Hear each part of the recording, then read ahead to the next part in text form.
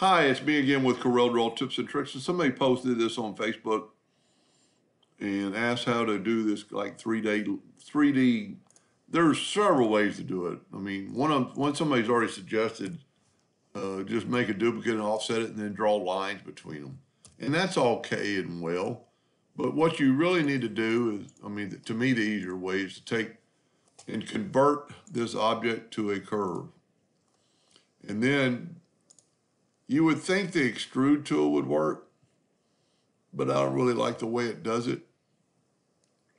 So if you go to your shadow and drop shadow, and then just move that just a little bit, and then you have to, I always check off of it, check it again, or select it again, break the block shadow apart, left click, right click, and you get those lines. Now, and this is more like the picture because there's no lines there. So what you can do, and I like using the Smart Fill tool, is go ahead and, well, let's just get a sample of that black. There we go. And Smart Fill that and then move it out of the way. And then I would pick my line thickness and we'll have to go to object and make sure it's not anything grouped together because some of it, there we go, there's the hairline. So we're going to see what size line this is. It's 0.75. So I'm going to grab my, this doesn't really matter because you're going to cover it up with the black anyway, but we're going to change it to 0.75. Now there's a few lines you still have to draw. And if you have your line thickness set 1.75, which I just changed mine, and just kind of go from that node to that node, that node to that node. A lot of these are not connected because they're not supposed to be. And like there's just a few here and there. And the extrude tool would do this, but it really extrudes it too far. And then you could turn this all gray and then bring your black on top of it. And there you have it. Now, just like in the picture, they don't have this area. I would normally try to match this up and put a line there. And I'm a little bit, a little bit deeper than theirs.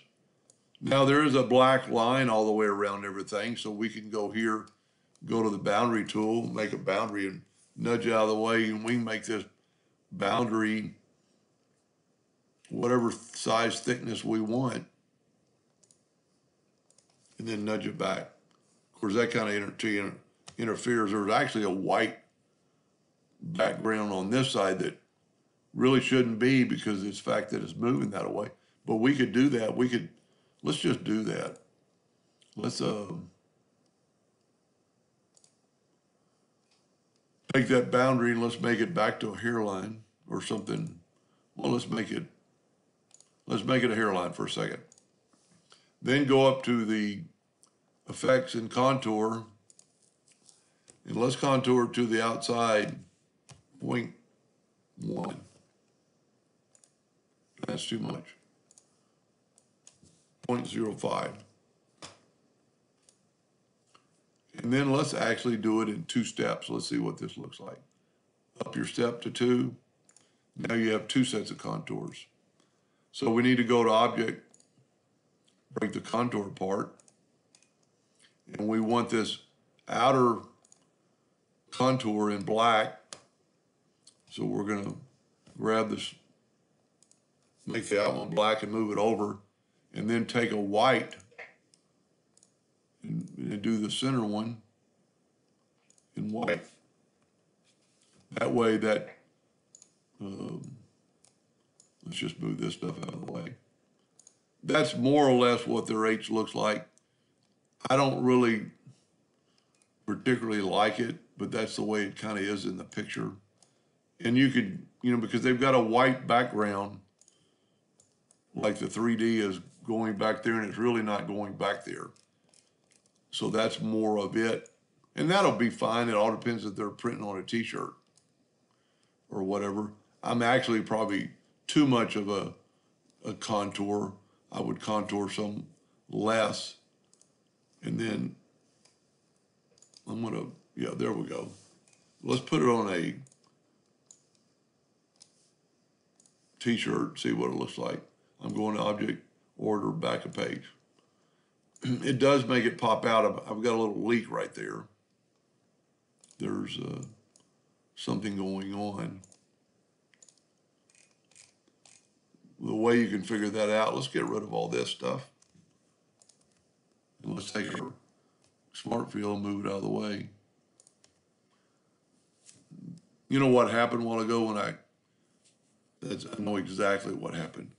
When I contoured it, I wasn't completely off the sheet. So let's do that again. Let's hit the boundary tool, move it over. I was inside something. Let's do two steps. You know what? Let's make them less. Now that we're gonna do it, let's go 0.03.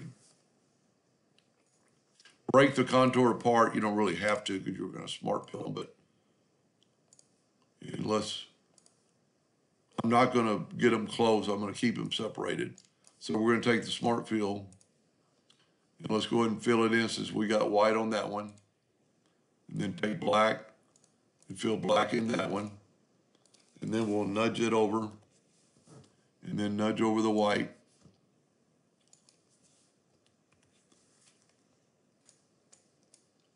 Actually didn't get the white.